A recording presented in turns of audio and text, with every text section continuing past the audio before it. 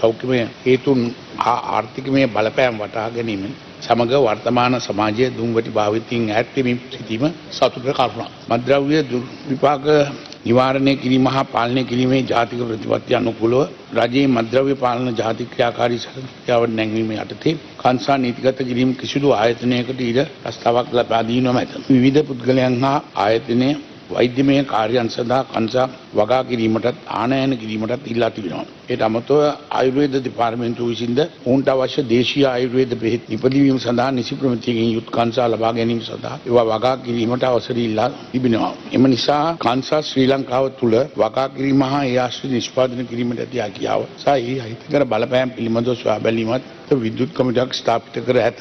කංසා හා අනිකුත් මද්‍රව්‍ය ප්‍රවර්ධනය හා වෙළඳාම් වැළැක්වීම පවතින පිළිබඳ වාර්තා යන්ත්‍රණය ශක්තිමත්තා වේගවත් කිරීම අප රජය විසින් කටයුතු කරගෙන යන අතර එහි ඇති අහිතකර සෞඛ්‍ය තත්ත්වයන් පිළිබඳව සමාජය දැනුවත් කිරීමට කටයුතු කරගෙන යනවා. මම ඔබතුමාගෙන් දැනගන්න කැමති කිරිපිටි කොම්පැනි පාම්පිටි කොම්පැනි දුම්කොළ සමාගම් විවිධ පුද්ගලෝ සල්ලි වලට ගන්නවා. අද ඇතැම් භික්ෂූන් වහන්සේලා මේ ගරු සභාවේ 225ක් නැහැනේ 223 දෙනා අතර ඉන්න සමහරුත් මේ ගැන කතා කරනවා. කොලේ වහලා කංශ පිළිබඳව නෙමෙයි හෙම් පිළිබඳව කතා කරන්නේ ගරු අගමැතිතුමනි. හෙම් කියන්නේ කංසා ශාකයේම තව ප්‍රභේදයක්. ඒකේ THC අඩුයි කියලා කිව්වට ඇත්ත කතාව මේ දෙකම එක වගේ. දැන් හෙම් ලංකාවේ වවලා පිටරට යවුවොත් හොඳ ආදායමක් ගන්න පුළුවන් අපිට ණය ටික ගෙවන්න පුළුවන් මෙවැනි කතා එනවා. මේක ඉතා නරක තත්ත්වයක්. සමහර වෙලාවට මත්කුඩු නැති නිසා කොරෙක්ස් පාවිච්චි කරපු යුගයක් තිබුණා. ට්‍රෙමඩෝල් මේ දෙක පාවිච්චි කරන්න ගත්ත සමහරු.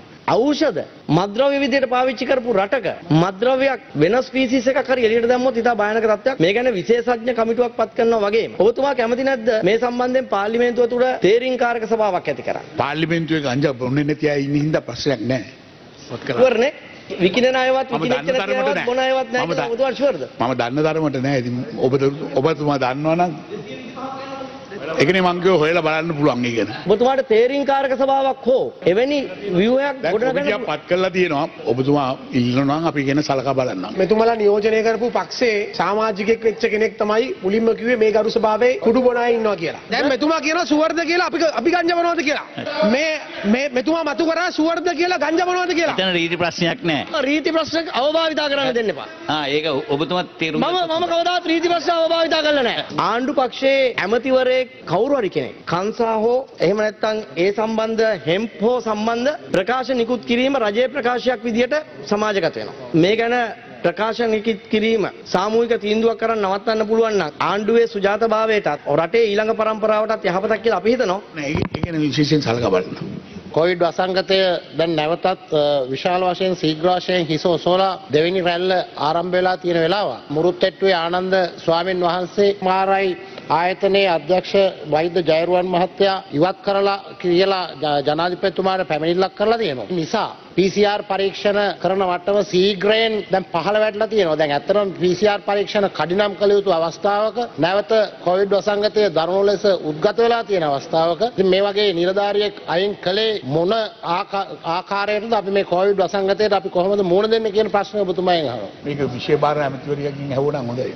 MRI එකේ වැඩ බලන අධ්‍යක්ෂකතුමෙක් තමයි ඉඳලා තියෙන්නේ PSC පත්වීම් ලැබිච්ච අධ්‍යක්ෂකතුමා විදේශ පුහුණුව අ, ඉවර කරලා අව- අවසන් වෙලා නැවත ඇවිල්ලා අධ්‍යක්ෂ තනතුරේ වැඩ බාර අරගෙන තියෙනවා. එතකොට අරයා හිටියේ නියෝජ්‍ය අධ්‍යක්ෂක ඇක්ටිං අධ්‍යක්ෂක හැටියට හිටියේ. ඉතින් අර PSC එකෙන් අපොයින්ට් කරපු අධ්‍යක්ෂතුමා විදේශ පුහුණුව ඉවරලා නැවත අ, වැඩ බාර අරගෙන තියෙනවා අධ්‍යක්ෂ තනතුරේ. ගරු හරින් ප්‍රනාන්දු අමාත්‍යතුමාගේ ට්විටර් ගිණුමේ සඳහන් කරලා තියෙනවා. එතුමා මීට ටික වෙලාවකට ඉස්සෙල්ලා PCR පරීක්ෂණයකට නතු වුණා කියන එක. දැන් සාමාන්‍යයෙන් අපි දන්නවා PCR පරීක්ෂණයට නතු වෙන්නේ ඔහුට ඇයට යම් ආකාරයේ සැකයක් තියෙනවා නම් ඔහුට ඒ රෝග ලක්ෂණ තිබෙනවා නම් ඒ කියන තත්ත්වයක් උඩ.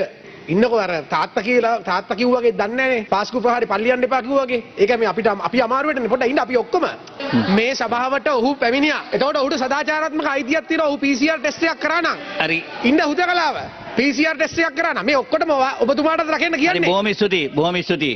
ග්‍රාමතුමාගේ ප්‍රශ්න ඇසීම පිළිබඳ ඔවුන් දැනුවත් කිරීමක් කරුවොත් හොඳයි කියලා අපි ක්‍රමවේදයක් හැදුවා. නැත්නම් මේ ප්‍රශ්න අහනවා ඔබතුමාම කියනවා මේ සිල්ලර ප්‍රශ්න අහනවා කියලා. ඒකින්ද මේ නවක මන්ත්‍රීවරුන්ට යම්කිසි ක්‍රමවේදයක් හදලා දෙන්න නැත්නම් වැඩමුළුවක් තියලා මේ අග්‍රාමතුමාගෙන් ප්‍රශ්න අහන ක්‍රමවේදය පිළිබඳ යම්කිසි වැඩමුළුවක් තිබ්බොත් හොඳයි කියලා මම යෝජනා කරනවා. බොහොම ස්තුතියි. වෙන වෙන වෙන ප්‍රශ්න හිතේ තියෙනවා අහනෝනේ ගරු කතානායකතුමනි.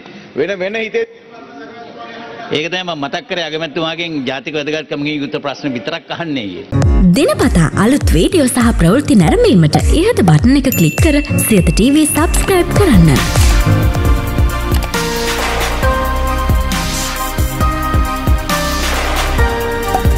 අලුත් වීඩියෝ ගැන මුලින්ම දැනගන්න මෙම සීනුව කලික් කරන්න.